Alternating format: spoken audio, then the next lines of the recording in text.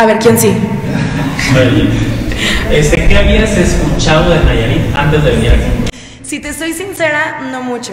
O sea, La gente que conoces. he, he conocido gente que me dice como, ah, este, no sé qué, en Tecuala nació, ah, pues que yo aquí, o sea, pero realmente nunca nadie eh, me había compartido el tipo de cosas hermosas y fascinantes que hay aquí. Creo que en mi vida había escuchado, no, nadie, no. Digo, a solo lo que uno pues obviamente ve en el avión, ¿no? Y, obviamente te enteras, lo que uno busca en internet, porque afortunadamente tenemos muchísimo acceso a información. Y sí me gusta estar leyendo muchos artículos y demás, pero así escucharlo de boca de alguien que me diga, híjole, tienes que ir a Nayarit, está increíble. Oye, la com-".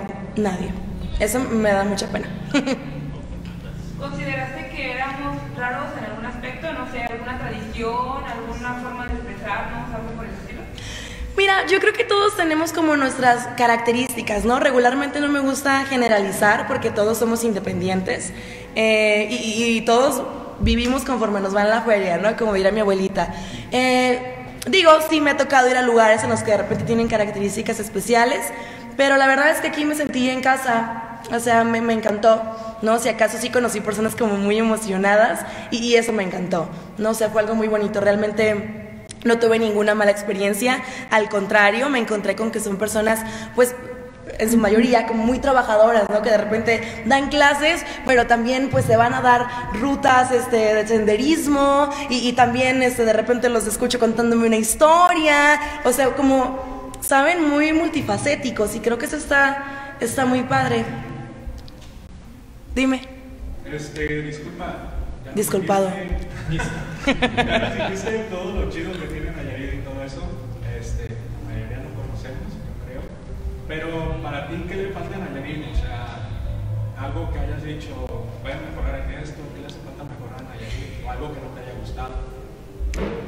Tal cual que no me haya gustado, eh, no te podría decir, la verdad estaba muy concentrada. Yo soy una persona que así vivo mi vida, ¿sabes? O sea, yo siempre dejo como lo malo de buen, lo malo de todo y me quedo con lo bueno, ¿no? Es como no voy pensando en, ay, es que hay una basura y no es como que, ¡ah, qué bonita luz, ¿sabes? O sea, yo siempre me voy por lo bueno. Sin embargo, no, de repente sí me encontraba con esas cositas como de, no sé, no, no sé cómo decirlo, pero es que voy, voy a lo que te decía a ti, ¿no? O sea, como que de repente nos falta más amor por lo que nosotros tenemos, ¿no? Como por el espacio donde estamos, el espacio donde recibimos. Creo que dicen que en el detalle está Dios. Y si nos pusiéramos a, cuidar cada detalle, ¿no? A sentirnos como en paz, en tranquilidad, en un ambiente bonito, que, que te sientes y digas, ay, mira, no sé, qué bonito mantel, un flor, no sé, como esos detallitos creo que tal vez eso podría como mejorar mucho la perspectiva, ¿sabes? Eh, realmente te digo, las personas son hermosas, pero de repente sí, sí encontré como un poquito como de descuido, ¿sabes? En, en algunas cositas. Digo, no le quita lo hermoso, pero, de- pero hoy, obviamente siempre pensando en mejorar y en el progreso, ¿no? Eh, creo que por ahí podría ser. Aarón García del Noticiero El Punto. Perdóname, seguía acá mi amigo. Ah, Buenas tardes. Dime. Primero que nada, bienvenida. Espero que estés disfrutando esta bienvenida. Gracias. Este, y preguntarte qué fue lo que te inspiró a ti para venir aquí a Nayarit. Pues mira, eh, realmente tuvimos eh, este, el honor ¿no? de entablar aquí conversación con, con mi amigo querido eh, y, eso, su emoción, ¿no? De verdad, ahí lo escuchas hablar de Nayarit y dices, quiero irme ya, ¿cuándo me voy? No, realmente yo soy una persona muy ocupada, no te voy a negar que el hecho de estar aquí, el perderme en la isla y quedarme sin señal, o sea, sí, sí me obviamente me bajó un poquito y me retrasó en mi trabajo porque yo estoy así. No, imagínate, yo vivo en frontera, ahí todo es rápido, estás haciendo una cosa y estás haciendo otra y otra y de repente ya es otra y te tienes que ir a otro lugar. O sea, es así. Sin embargo, este, la manera en la que te cuentan las experiencias, ves cómo se le dilatan las pupilas y sonríe y se emociona y le brillan los ojos. Yo dije, a ver, a ver si es cierto, ¿no? Como que algo dentro de mí dijo, ah, ¿a poco sí? ¿No? Entonces, pues obviamente nos vinimos. Ah, perdón, por acá no había completado tú la pregunta de alguien que me decían, este, de mi equipo. Ah, sí, lo siento, es que yo me piro, ¿eh? Yo me voy, agarro un monte y ya no me regresan. Este, mi equipo también está muy agradecido. Realmente somos un equipo que ha trabajado desde hace mucho. Yo apenas en marzo voy a cumplir dos años en internet. Entonces son las personas que estuvieron siempre conmigo. Y de verdad nosotros somos una familia, ¿no? A nosotros no nos importa si de repente nos tenemos que quedar todos en un cuarto, en el piso o en el hotel más lujoso en una suite, ¿sabes? O sea, realmente no importa el hecho de estar juntos, trabajar y vivir experiencias juntos, nos emociona y, nos alimenta enormemente el alma, ¿no? Eh, yo les comentaba hace rato, le digo, es que de verdad yo los necesito, ¿sabes? O sea, ellos son parte de mi vida, me ayudan a todos y ustedes me ven aquí hermosa, famosa y lo que sea.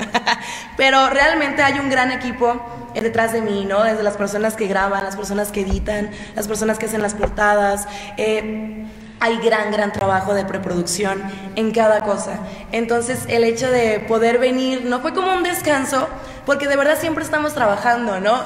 Eh, nos gusta tanto nuestro trabajo que nos autoexplotamos, ¿no? Es como que, no, pero quiero hacer otra cosa y quiero grabar otro video y espérate, eso también, hay que grabarlo, toma una foto, ¿no? siempre estamos así todos. Pero el venir aquí, si bien sí grabamos como, ¿qué? ¿Cuántos videos? Como ocho, ¿no? Como ocho videos. sí, me pasé. Sí, venían por tres. Ajá, veníamos por tres, fíjate, pero nos encontrábamos con cosas y grabamos ocho videos. Y aún así nos sirvió como descanso. O sea, sí fueron como unas vacaciones, sí fue un encuentro espiritual. Realmente creo que no vamos a ser las mismas personas antes que después de haber venido a Tepic Nayarit, ¿no? Que fue pues donde nos recibieron. Entonces, sí me voy muy plena, sí nos vamos muy alimentados. De verdad, algo, algo cambió. O sea, tuvimos la oportunidad de, de irnos a hacer una limpia, ¿no? Este, con un maracamén. Entonces, son ese tipo de cosas que a lo mejor muchos no creen, pero fue algo muy bonito y fue algo muy espiritual. El hecho de habernos aventado del cañón. ¿Alguien se ha aventado? Sí. ¿De cuál? ¿Del de cuántos metros? De siete. El de 7. ¿Y el de 12 qué onda? ¿Para cuándo? o sea, imagínense aventarse de 12 metros. O sea, te pasan mil cosas por la cabeza es como un encuentro, ¿sabes? Eh, lo platicaba hace rato con mi equipo que era como un renacimiento. O sea, de verdad como que dices, ok, va, voy a llevar mi vida al límite, te avientas, caes, como pum. O sea, de verdad estábamos como en shock, esa adrenalina nos duró bastante tiempo. Entonces, nada, estamos muy agradecidos, estamos renovados eh, y estoy segura que después de estas experiencias maravillosas van a venir cosas increíbles en nuestro proyecto. Gracias. Eh, Lisbeth, Dime. ¿qué te quedas de Nayarit? Y otra pregunta también, el contenido que producías, pues te proyectó demasiado en redes sociales. ¿Veremos más eh, de ese tipo, material de ese tipo próximamente? Eh, ¿Con material de ese tipo te refieres a? Al programa que haces con la gente en las calles, los sondeos. ¿Qué programa? Exponiendo infieles. Ah, ok. A ver, ¿me puedes repetir tu pregunta, perdón? La primera, ¿con qué te quedas de Nayarit? Y la segunda, sobre el trabajo que vas a hacer, ¿cuáles son tus nuevos proyectos? Ah, ok. Eh, de Nayarit, puta, con todo, ¿no? O sea, para empezar la comida, que es algo que de verdad me encanta. Eh, ay, es que estoy así como, a ver, ¿qué le gana, qué le gana, qué? ¿Sabes? Eh, algo muy particular que me encantó y me llenó el alma fue como las estructuras son como bidimensionales, ¿no? O sea, como que ves una puerta aquí y se te abren otras tres puertas por acá y porque fuimos a la escondida también, ¿no? Y ahí quedé también como, o sea, eso, ¿no? Como que no me quedo en chiquito, como que es algo grande, como que siempre tengo más a dónde ir, como que no tengo límites. Esa experiencia, eh, la verdad que sí me encantó y, me llenó enormemente. Eh, en proyectos sí tengo muchísimos en puerta. Hay un proyecto que va a tratar de nosotras. Hace tiempo, no sé si están pendientes de mis redes, eh, revelé un secreto de mi infancia algo que fue muy duro para mí y, no me había atrevido y no sabía cómo expresarlo. que son cosas que a muchos nos pasan, pero no nos atrevemos a levantar la voz. Pero en mi Instagram recibo miles de mensajes de personas que me cuentan situaciones horribles que están pasando. El hecho de tener un montón de seguidores no es, ay, sí, soy famosa, qué chido. No, es una gran responsabilidad porque hay muchísimos niños y también adultos, pero hay muchísimos niños y muchísimas nuevas generaciones que nos están viendo. Y eso nos habla de un trabajo y una responsabilidad con nuestra comunidad, con nuestra sociedad, y es dejarles algo positivo a los niños. Yo tengo un hijo de tres años entonces depende mucho de ver qué mundo le quieres dejar pues a nuestros hijos, ¿no? A las generaciones que vienen. Entonces viene este proyecto para Facebook de nosotras, donde es, abierto al público, no hombres y mujeres, pero pues, digo, había que poner un nombre. Este, justo abrir este espacio para que compartamos eh, nuestras experiencias más íntimas, más profundas, dolorosas e inquietudes, tabús, cosas que regularmente no se hablan para justo eso, levantar la voz, sentir que no somos los únicos, ¿no? De repente nos ahogamos en un vaso de agua y decimos, híjole, es que yo soy la única a la que mi papá le pega y, y pobrecita de mí. Y de repente lo dices, pero te das cuenta que aquí el 90% tu papá también te pegaba. No, o sea, es un ejemplo, vaya, muy, muy trivial, pero, pero es eso, ¿no? Es, es un medio eh, para encontrarnos. Afortunadamente las redes nos abren un panorama increíble. Eh, yo soy vista a nivel Latinoamérica. En mi vida pensé que eso iba a ocurrir y estoy muy agradecida. Pero entonces es justo eso, ¿no? Darnos cuenta que somos un equipo, que estamos unidos y que juntos podemos hacer la diferencia y que podemos cambiar muchos preceptos que existen actualmente en nuestra cultura, en nuestra conciencia y vaya, es en nuestro modus vivendi, ¿no? Que es lo más importante. Eh, tengo otro proyecto que es Cosas de Mamá. Porque es que, ¿qué pasa? No? Yo, yo quiero hacer de todo siempre. Eh, a mí me choca el dicho que dice el que mucho abarca, poco aprieta. Yo soy del que mucho abarca, mucho aprende. ¿No? Entonces, bueno, soy mamá.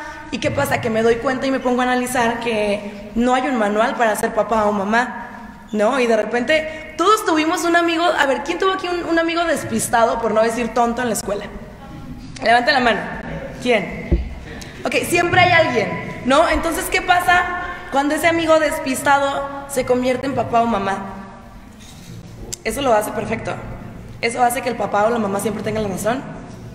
¿No? Y es muy raro que una persona se ponga a leer, que busque información, que tome ayuda con algún psicólogo, que te explique cómo manejarlo. Entonces dije, bueno, con base en mi experiencia y lo que yo he tenido, que obviamente también han nacido errores y han nacido aprendizajes, ¿cómo comparto eso con toda mi comunidad que ve mis videos?